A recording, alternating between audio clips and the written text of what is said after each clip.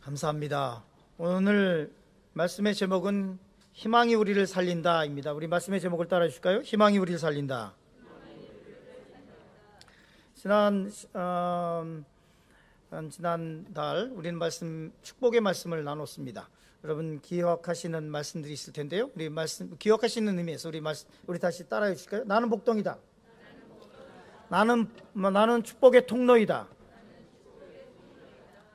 또 오늘 우리에게 주시는 말씀은 그 전에 있었던 말씀은 입을 크게 열라였죠. 입을 크게 여십시오. 따라 주실까요? 입을 크게 여십시오. 하나님께서 채우십니다. 오늘 하나님의 말씀은 희망이 우리를 살린다입니다. 희망만이 우리를 살릴 수 있습니다. 절망 가운데 있을 때에도 희망이 있어야 우리는 살아날 수 있습니다. 살다 보면 죽고 싶은 그런 때가 어, 있습니다. 죽고 싶은 때가 없었던 사람이 있었을까요? 어, 저도 있었습니다. 죽고 싶은 때가 왜 없겠습니까? 죽고 싶은 때가 있었습니다. 살면서 이 고통, 죽음의 고통이 심해지면 지나가는 차를 보면서 내가 저 차에 뛰어들면 그냥 쉽게 죽을 텐데 어쩔 때는 그냥 내가 다리에서 뛰어내리면 그만 쉽게 죽을 텐데 이런 생각을 할 때가 있습니다. 높은 빌딩을 보면 빌딩에서 떨어지면 그냥 쉽게 끝날 텐데 라는 생각 그런 생각을 안 한 사람이 어디 있겠습니까? 살면서 이 절망이라고 하는 고통을 느껴보지 않은 사람이 어디 있겠습니까? 한두 번씩 이런 고통 속에는 다 있었을 것입니다. 그런 생각을 하면 정말로 안 되는데 자살에 대해서 생각해 보지 않은 사람들이 어디 있겠습니까? 살면서. 절망이라고 하는 것은 인간에게 큰 고통을 가져다 줍니다. 덴마크의 유명한 유명한 철학자가 있죠. 예, 쉐렌 키에르케고르라고 하는 사람이 있습니다. 음, 아주 덴마크의 대표적인 사람들이 몇, 몇명 있죠. 뭐 안데슨도 있고 몇 명도 있습니다. 그 중에 이제 키에르케고라고 하는 사람이 굉장히 철학자로서 유명합니다. 키에르케고르가 좀 어려우니까 우리는 보통 뭐라고 얘기하냐면 개골개골 이렇게 얘기했습니다. 키에르케고르를 케고르를 개골개골이라고 얘기하신 분은 이제 다 한 50대쯤 되신 분이고 키에르케고르를 20대들은 대부분 잘 모를 것이고 뭐 이렇, 이렇습니다. 이 키에르케고르가 쓴 책이 있습니다. 이 책이 뭐냐면 죽음에 이르는 병이라고 하는 책입니다. 그가 말하는 죽음에 이르는 병, 인간이 죽음에 이르는 병, 이 병은 어떤 것이냐면 절망이라고 하는 것입니다. 게르케고르가 기독교인입니다. 아주 독실한 기독교인입니다. 그렇기 때문에 이 절망을 다루면서 그냥 인간이 인간에게 죽음에 이르는 병 그리고 어, 절망 이렇게 끝나는 것이 아니라 그가 얘기하고 있는 절망은 사람이기 때문에 절망조차 할 수 있다라는 얘기를 합니다. 동물들 중에 동물 중에 절망하는 동물들이 있나요? 없죠. 사람이기 때문에 절망도 그나마 할 수 있는 것입니다. 그런데 이 절망이 왜, 왜 이렇게 힘들고 그가 얘기하는 대로 얘기하는 것처럼 죽음에까지 이르는 병이냐면 절망은 외부에서 오는 상황이 아니라 절망이 나를 파괴하는 이유는 나에 대한 감정. 즉 다시 말해서 내가 뭐 그렇지 나는 안 돼 와 같이 끊임없이 자기 자기 파괴적인 성격을 갖고 있기 때문에 그렇다고 하는 것입니다. 이 자기 자기 파괴적인 이 힘을 이 힘을 내가 내적으로 이겨내지 못하기 때문에 이 절망이 결국은 죽음에까지 이르게 된다고 하는 것입니다. 오늘 말씀에는 절망 앞에 서 있는 한, 한 사람을 소개하고 있습니다. 이 사람은 위대한 예언자 중에 한 명인 엘리야입니다. 엘리야 선지자가 그의 고뇌가 얼마나 깊었든지 이 열왕기상 19장 4절은 이렇게 말씀하고 있습니다. 열왕기상 19장 4절 말씀 같이 읽을까요? 같이 있습니다.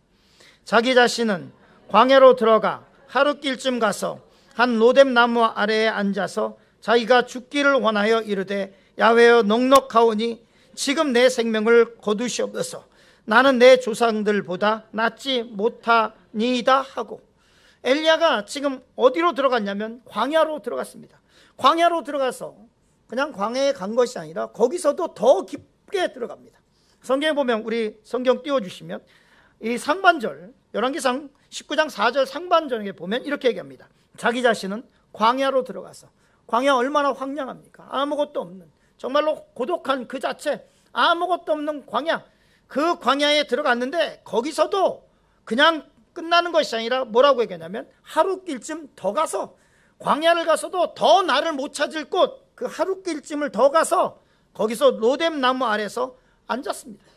그리고 뭐라고 얘기하고 있냐면 뒷번에 보면 자기 자기가 죽기를 원하여 이르되 야외여 넉넉하오니 야외여 넉넉하오니 무슨 얘기입니까? 하나님 충분합니다. 이쯤이면 됐습니다. 야외여 넉넉하오니 지금 내 생명을 거두어 주십시오 라고 말씀하고 있습니다. 하나님 나 죽기 원합니다. 나 죽고 싶어요. 이 말이에요. 노뎀나무 가서 죽기 원하고 있는 그 엘리야 한 선지자의 모습, 그 고뇌의 모습을 성경은 이렇게 말씀하고 있는 것입니다. 그가 광야까지 들어가서 거기서 하루끼쯤 더 가서 거기서 나무 하나 밑에서 거기서 하나님한테 하소연하고 있는데 하나님 이제 이제 충분합니다. 이제 하나님 됐습니다. 이제 내 생명을 좀 걷어가 주십시오라고 얘기합니다. 우리는 여기서 한 선지자의 육체적인 한계와 그리고 영적인 가람을 느낄 수 있습니다. 엘리야 얼마나 위대한 예언자입니까? 위대한 예언자의 대명사인 엘리야입니다. 그런데 그가 로뎀나무 아래서 죽기만을 바라고 있는 모습, 이 모습 속에서는 어떠한 예언자로서의 위대함을 우리는 느낄 수도 없고 어떤 영적인 힘도 느낄 수 없습니다. 인생이 그런 것 같습니다. 내가 좀 잘 나가는 것 같고 내가 좀뭐뭐 뭐 이제 어깨에 좀 힘을 주고 소위 말하는 내가 좀 어디 가서 방구도 좀 낄 수 있고 이런 상태에 있을 때는 어깨에 뽕이 확 들어가죠. 빡 올라가죠. 그러다가도 갑자기 다가온 고독과 갑자기 다가온 절망 앞에서 갑자기 다가온 질병 앞에서 인간 한없이 초라하게 초라한 모습을 보이게 됩니다. 엘리야가 노뎀나무 아래서 죽기를 바라는 것. 그가 얘기하기를 하나님 이젠 됐으니 내 생명을 좀 걷어가 주십시오. 이 절망 앞에 있는데 저는 성경 말씀 성경 말씀 자세히 봤어요. 무슨 도대체 무슨 일이 있었길래 이 엘리야가 이런 이런 얘기를 하고 있는가? 그 전에 어떤 일이 있었나? 무슨 뭐뭐 뭐 전쟁이 났나? 아니면 무슨 어마어마한 재난이 당했나? 재난으로 해서 모든 게 다 날아가고 뭐 아무것도 없는 그런 상황인가? 아니면 사랑하는 부모, 형제가 다 죽었나? 도대체 어떤 일이 있었길래 이 엘리야가 이렇게 힘들게 고뇌하고 있는가? 성경을 앞에서 봤어요. 도대체 무슨 일이 그 앞에 있었나? 그랬더니 그, 그, 이, 이 절규하기 바로 전에 있었던 사건은 아이러니컬하게도 어떤 절망적인 사건이 있었던 것이 아니라 어, 영적인 큰 승리가 있었어요. 영적으로 얼마나 큰 일이 있었냐면 정말로 성경에 기록됐을 때 기록 얘기할 때 골리아 다윗이 골리앗을 물리칠 정도보다 정도만큼 되는 큰 역사적인 사건이 있었습니다. 그것은 뭐냐면 우리가 잘 아는 것처럼 엘리야가 바알 선지자하고 450명하고 대결해서 이겼잖아요. 불이 하늘에서 떨어졌잖아요. 그 일이 있고 난 이후에 이런 절망 가운데 있었습니다. 왜 이런 절망을 느꼈을까요?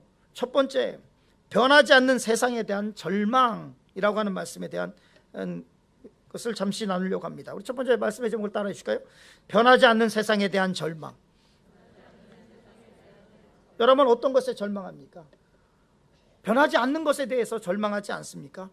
아무리 기도해도 변하지 않는 것에 대해서 절망할 때가 있지 않습니까? 우리 열왕기상 18장 말씀 보면 갈멜산에서 엘리야와 이 바알 선지자 450명과의 영적인 전쟁을 하고 있는 것을 보고 있습니다. 엘리야가 한 명이었습니다. 성경 말씀 볼까요? 열왕기상 18장 22절 말씀 같이 읽습니다. 읽습니다. 엘리야가 백성에게 이르되 야외의 선지자는 나만 홀로 남았으나 바알의 선지자는 450명이로다. 바알의 선지자가 450명이나 있었어요. 그리고 나 혼자 남았어. 하나님 하나님의 백성을 이끌어갈 선지자라고 나밖에 없고 다른 사람들 엘 바알의 선지자가 450명 될 때까지 뭐, 뭐 했겠습니까? 성경에 계속해서 보면 뭐라고 되어 있냐면 아합 왕과 이세벨의 식탁에서 누가 밥을 먹고 있었냐면 아세라와 이 바알의 선지자가 밥을 먹었어요. 왕궁에서 누구를 케어하고 있었냐면 바알과 아세라의 선, 아세라 선지자들을 케어하고 있었어요. 그들에 대한 풍족한 것을 다 공급하고 있었어요. 그런데 그의 반면에 이 선지자였던 하나님의 선지자는 어떻게 됐냐면 수없이 많이 죽었고 그리고 엘리야가 얘기합니다. 나 혼자 남았습니다. 라고 고백하는 이 지경에 놓이게 됐다고 하는 것입니다. 이 사람들과 영적인 전쟁을 하게 되죠. 열왕기상 18장 28절 29절 말씀 같이 보겠습니다. 같이 있습니다. 이에 그들이 큰 소리로 부르고 그들의 규례를 따라 피가 흐르기까지 칼과 창으로 그들의 몸을 상하게 하더라. 이같이 하여 정오가 지났고 그들이 미친 듯이 떠들어 저녁 소재 들을 때까지 이르렀으나 아무 소리도 없고 응답하는 자나 돌아보는 자가 아무도 없더라 라고 말씀합니다 450명의 바알 선지자들과 이, 엘리, 이, 이 엘리야가 대결한 것은 간단한 겁니다. 재단 두 개를 쌓고 재물을 올려놓고 자 그래 열심히 불러보자. 그래서 하늘에서 불이 떨어지게 하는 신이 참 신이다. 우리 한번 해보자. 450명의 이 바알 선지자들이 아침부터 부르기 시작합니다. 성경을 얘기하는데 그들이 큰 소리로 부르짖었고 그들의 규례에 따라 그들이 정한 종교적인 행위에 따라서 피가 흐르기까지 칼과 창으로 그들의 몸을 상하게 하고 몸을 상하게 하고 소리를 지르고 정오가 될 때까지 아주 부르짖고 난리를 난리 난리를 쳤습니다. 그러나 답이 올 이가 있나요? 그 신이 살아있지를 않은데 절대로 답이 올 수 없었습니다. 성경에 보니까 정오가 지났고 그랬더니 그들이 미친 듯이 떠들어 미친 듯이 소리를 지르면서 이 재단에 불을 내려달라고 소리를 소리를 질렀습니다. 자회, 자해를 하고 미친 듯이 소리를 질렀지만 아무런 소리도 없고 아무런 응답을 할 수 없습니다. 아무도 돌보는 사람이 없었습니다. 왜냐하면 그들이 만들어 놓은 우상에게 절하고 맹세하고 기도하고 그렇게 믿고 살았지만 그 우상이 그렇다고 해서 생명력을 가질 수는 없는 것입니다. 참 신기한 게 뭐냐면 사람은 자기가 만들어 놓은 그 우상 앞에 가서 절을 하는 거예요. 참 희한하죠? 참 희한합니다. 우리 교회 바로 1층에 뭐가 있습니까? 이 우상 파는 데가 있어요. 아마 장사 잘 안 될 거예요. 우리가 얼마나 기도하고 있는데 딱 들어올 때마다도 아이고 주님 이거 언젠간 없어져야 되는데 주님 이거 우리 우리 교회가 사가지고 빨리 여기 이거 주일학교 애들 놀 수 있는 생활관 만들어야 되는데 주님 뭐 이러고 제가 기, 들어오는데요. 들어올 때마다 우리 홍콩에서 얼마나 부르짖고 얼마나 기도를 우리가 열심히 해요. 그런데 저기도 좀 괴로울 거예요. 저기 만약에 미신이 있다면 저기도 좀 괴로울 거야. 위층에서 맨날 부르짖고 주아주 하고 있는데 거기 있기 힘들 거야 아마. 그래서 자기네들이 만들어 놓고 거기다가 절을, 절을 하고 있어요. 그 상황이에요. 죽은 신에게 사람들이 만들어 놓은 우상에게 불러봐야 아무런 대답이 없습니다. 하늘에서 불이 떨어져야 하는데 불이 올라 내려올 이가 만무합니다. 아침부터 저녁까지 소리를 지면 난리를 치다가 저녁 때가 돼서 성경에 보니까 바알 선지자들이 어떻게 되냐면 풀에 지쳐서 자기가 나가 떨어졌다 이렇게 얘기합니다. 그런데요 이 말씀을 읽으면서 우리가 보는 것은 뭐냐면 우리 모습 내가 그러지 않나 내가 그러지 않나 내가 진짜 하나님을 찾기보다는 세상 때문에 너무 바빠가지고 우리 모습 속에도 이런 것이 있지 않나 찾아야 할 하나님은 찾지 않고 쓸데없는 것에 내가 힘을 썼고 소출 없는 것에 밤낮으로 힘을 쓰고 있다가 그 힘 쏟다가 나가 떨어져 있고 그러다가 지쳐 떨어져 있는 모습이 그 모습이 아닐까라는 모습을 다시 한번 생각하게 됩니다. 이때 엘리야가 등장을 합니다. 뭐 요란할 것도 없어요. 그냥 하나님 앞에 뭐냐면 그냥 물을 재단 앞에 물을 꺼서 조용히 하나님 앞에 나가서 기도합니다. 여러분 이게 필요해요. 우리에게 필요한 것은 조용히 내가 하나님 앞에 나가서 고독할 수 있어야 돼요. 내가 하나님 앞에 고독할 수 있어야 돼. 다른 거 번잡한 거 다 뒤로 하고 내가 혼자 주님 앞에 나가서 고독하게 하나님께 기도하는 이 모습이 우리에게 필요합니다. 그럴 때 불이 내리는 거예요. 아멘.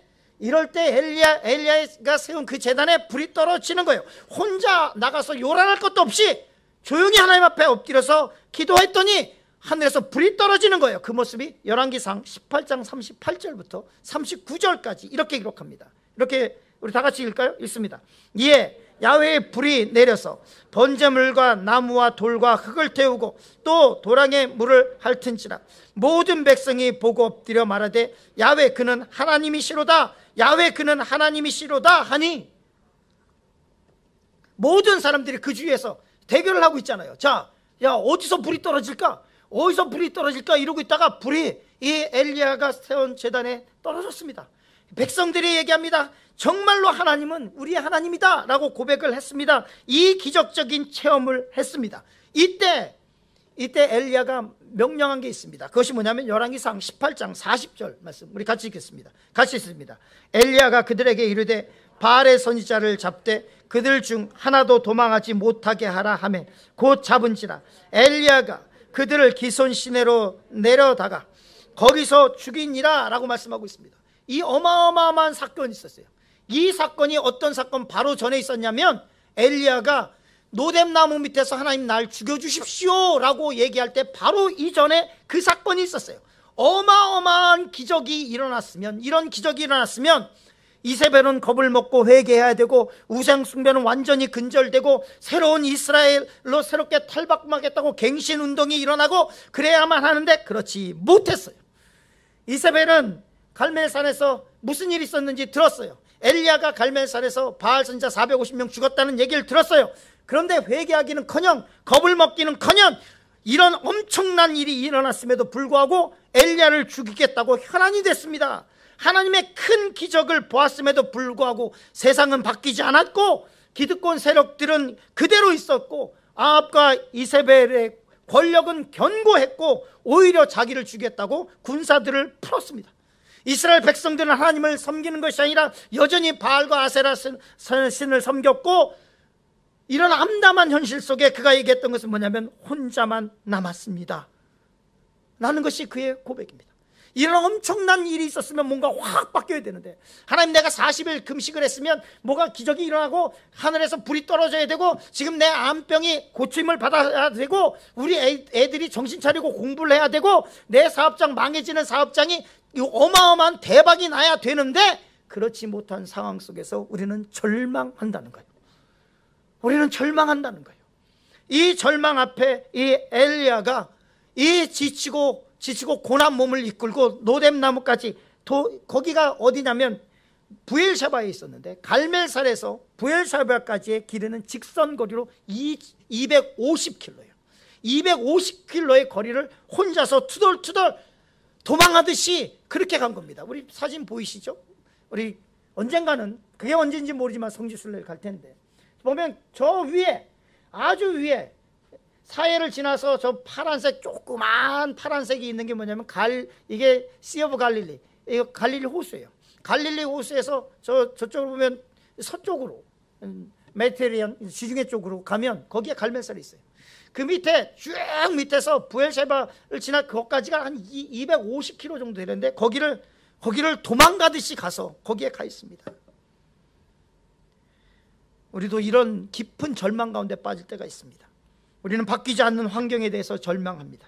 바뀌지 않는 가정, 바뀌지 않는 경제적인 여건, 기도는 하고 있지만 건강에는 아무런 변화가 없고 여전히 내 몸에 암은 그대로 있고 가난은 계속되고 있을 때 이때 절망하게 됩니다. 선지자도 이 절망 가운데 있었습니다. 이때 하나님께서 우리 하신 것이 무엇일까요? 여러분 이 절망 가운데 있다면 오늘 엘리야의 이야기를 통해서 새 힘을 얻고 희망을 가지시길 간절히 축원합니다. 이 절망 속에 필요한 것은 무엇이냐면 하나님의 손길입니다. 하나님의 손길.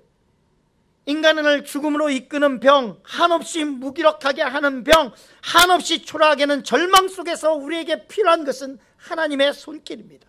우리 옆 사람과 인사할까요? 당신에게 하나님의 손길이 필요합니다.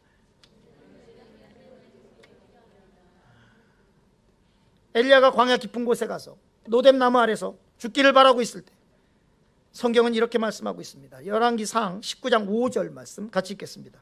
노뎀 나무 아래에 누워 자더니 천사가 그를 어루만지며 그에게 이르되 일어나서 먹으라 하는지라 절망 속에서 필요한 것이 하나님의 손길입니다. 우리 사진 한 장 볼까요? 엘리야, 엘리야가 노뎀 나무 아래에 누웠다고 하는데 저에게도 비춰주시고 그래서 노뎀나무가 어떤 것이냐? 영어로 보면 뭐라고 되냐면 이 나무가 어떤 나무냐면 부름출이에요. 다시 말해서 어떤 거냐면 이 나무는 이 빗자루 만드는 나무예요. 그러니까 이 빗자루 만드는 나무가 컸겠습니까? 안 커요. 실제로 노뎀 나무는 굉장히 안 커요. 그냥 붓자루 만드는 쌀이 우리 쌀이 나무 정도 됩니다. 쌀이 빗자루처럼 쌀이 저저 나무 밑에서 엘리야가 몸을 몸을 몸을 그 그늘 그 조그만 그늘 그늘 그 밑에서 자기의 몸을 뉘었습니다. 거기서 뭐라고 얘기하고 있냐면 말씀 우리가 읽은 것처럼 하나님 날 좀 죽여 주십시오. 하나님 이제 넉넉하오니 이제 하나님 됐으니 나 좀 죽여 주십시오라고 얘기를 하고 있습니다.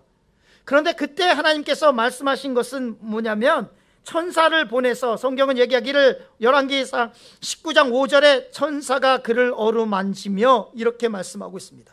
노뎀나무 앞에서 나 좀 죽여달라고 얘기하고 있는 이 선지자에게 하나님께서 말씀하고 있는 것은 그래 알았어 내가 너 죽여줄게 네 소원 들어줄게 너 죽여줄게 야, 야 선지자쯤 돼가지고 믿음이 이렇게 없어가지고 지금 이러, 이러고 있어? 너 지금 내가 내가 어떤 일 했는지 바로 전에 못 봤어? 너 그런 이 그런 기적을 보고도 지금 여기 와가지고 지금 뭐 하는 거야? 야, 너 지금 뭐야? 믿음이 이렇게 믿음이 이렇게 없어서 어떻게?라고 책망하신 것이 아니라 천사를 보내서 그 낙심 속에 있는 엘리야를 어떻게 했다고요? 천사가 그를 어루만짐에라고 말씀하고 있습니다. 어루만짐에 그가 일어나 먹으라 하시니 야 먹어 너 필요한 것이 지금 너 지금 너 이러고 있으면 안 돼라고 하시는 하나님의 손길이 필요합니다. 힘들어하는 엘리야의 마음을 만져주시고 그 힘듦을 알아주시고 그의 눈물을 닦아주시는 것이 우리 하나님이십니다. 우리에게 절망 속에 있을 때 우리에게 필요한 것은 이 하나님의 위로입니다. 모든 사람들이 다, 다 손가락질 할 때 우리에게 필요한 것은 하나님의 손길입니다. 계시록에 보면 계시록 7장 17절은 이렇게 말씀하고 있습니다. 우리 같이 읽을까요? 이는 보좌 가운데 계신 어린 양이 그들의 목자가 되사 생명수 샘으로 인도하시고 하나님께서 그들의 눈에서 모든 눈물을 어떻게 한다고요? 씻어 주실 것입니다. 우리 하나님이 어떤 분이시냐? 내가 흘리고 있는 눈물을 씻어 주실 하나님, 내가 혼자 흘리고 있는 그 눈물을 씻어 주실 그 하나님, 그 하나님의 손길이 우리에게 필요하다고 하는 것입니다. 이 세상에 살아가면서 얼마나 많은 눈물을 흘리셨습니까? 또 앞으로 살아가면서 얼마나 많은 눈물을 흘려야 될지 우리는 알지 못합니다. 우리에게 필요한 것은 하나님의 위로가 우리에게 필요합니다. 우리 우리 눈에서 눈물을 닦아주신 하나님의 손길이 우리에게 필요합니다. 여러분 하나님의 사랑의 깊이를 아십니까? 그 어떤 상황 속에서 우리를 버리지 않겠다고 하시는 그 하나님의 약속을 믿으십니까? 아멘 하십니까? 모세가 죽고 여호수아가 이 신세대를 데리고 데리고 가나안 땅으로 들어가야 하는데 여호수아가 두려웠습니다. 그래서 공야에, 광야에 혼자 나갔습니다. 광야에 혼자 나가서 하나님 내가 이거 어떻게 해야 할까요? 하나님 우리 가끔 가다가 가장의 책임이 굉장히 크죠. 가장의 책임이 애들은 커가고 있고 이제 학교는 가고 대학은 간다는데 하나님 이거 어떻게 해야 되죠? 하나님 먹고 살아야 되는데 어떻게 하죠? 정말로 잘릴 위기가 왔다 갔다 해서 맨날 뭐 감원한다고 그러고 있는데 하나님 내가 어떻게 하지? 이 무게 앞에서 하나님 졸업 이후에 나 어떻게 해야 되죠? 직장 취직을 하려고 하는데 원하는 데는 원하는 데는 많으나 받아주는 곳은 없더라. 이 현실 속에서 하나님 나 어떻게 해야 되죠? 똑같은 상황 속에서 여호수아가 광야로 나갑니다. 그리고 고독하게 하나님 앞에 간구하고 기도합니다. 엘리야처럼 여러분 엘리야 그 상황이 기억이 나시나요? 450명의 바알 선지자가 깔려 있어요. 거기에 막 그냥 막 이러고 있는데 자기 혼자 나가서 만약에 불 안 떨어지면 어떻게 할 거예요? 만약에 하나님께서 불 안 내려주면 어떻게 할 거예요? 죽는 거예요, 죽는 거. 그, 그 위기 앞에서 나가서 고독하게 하나님 앞에 부르짖는 엘리야의 심정으로 이 여호수아가 하나님 앞에 나갔습니다. 가나안 땅 들어가기 전에 내일이면 들어가는데 어떻게 어떻게 들어가야 되는지 다 계획해 놓고 다 그룹 쳐 놓고 이제 요단강 건너가야 되는데 저 요단강을 하나님의 말씀대로 제사장이 언약궤 메고 딱 건너가서 발을 딱 디뎠는데 물이 안, 안 갈라지면 어떡할 거예요? 어떡할 거야? 그 앞에서 하나님 앞에 나가서 기도합니다. 그때 하나님께서 말씀하신 것이 요호수아 1장 5절이에요. 우리 같이 읽어볼까요? 같이 있습니다. 내 평생에 너를 등이 대적할 자가 없으리니 너와 함께 있을 것입니다. 내가 너를 떠나지 아니하며 버리지 아니하리니 이 위로가 여러분의 있길 간절히 축원합니다. 여러분의 여러분에게 하나님의 손길이 임하길 간절히 축원합니다. 절망 속에서 말씀하시는 하나님의 음성을 들어야 됩니다. 절망 속에서 우리에게 임하시는 하나님의 손길을 느껴야만 합니다. 절망 속에서 내가 너와 함께 할 것입니다. 내가 너를 떠나지 아니할 것이다. 내가 너를 버리지 않을 것이다. 라고 하는 이 말씀을 붙잡아야, 붙잡아야만 합니다. 세상은 날 버려도 모든 사람이 다 나를 손가락질해도 나를 떠나지 않으시고 버리시지 않겠다고 하는 이 주님의 손길이 우리 삶 가운데 필요합니다. 절망 가운데 이, 이 손길이 여러분에게 임하길 간절히 축원합니다. 하나님의 은혜가 여러분에게 임하길 간절히 축원합니다. 하나님의 손길이 임하실 것입니다. 간구하고 기도한다면 우리의 눈물을 닦아주실 하나님을 만나게 되실 것입니다. 이것이 우리에게 필요합니다. 세 번째로 다시 사명 앞으로라는 말씀을 나누려고 합니다. 우리 말씀의 제목을 따라해 주실까요? 다시 사명 앞으로. 절망 속에 있는 엘리야를 만나 주신 하나님께서 이렇게 말씀하십니다.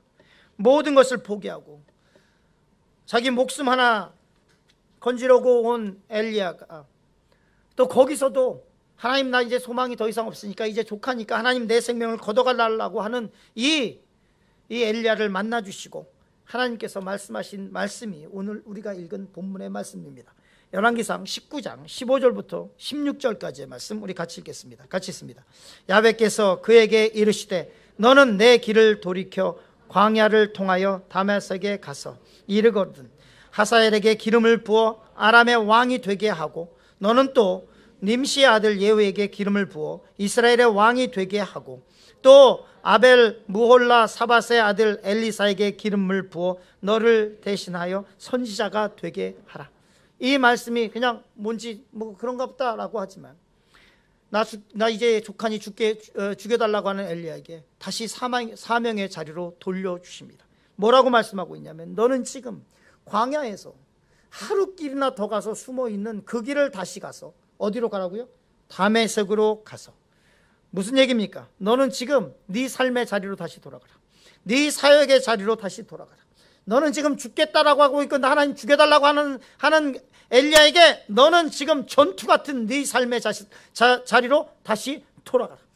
그리고 뭘 하냐면 첫 번째가 뭐냐면 노뎀나베 아래서 죽겠다고 하는 엘리야에게 너는 다시 광야를 지나서 담에색으로 가고 두 번째 그곳에 가서 뭘 하냐면 하사엘에게 기름 부어 아람 왕이 되게 하고 세 번째 예후에게 가서 기름 부어서 이스라엘의 왕이 되게 하고 네 번째 너는 엘리사에게 가서 기름을 부어서 너, 너 다음에 일어날 차세대의 영적 지도자를 세우라는 것입니다.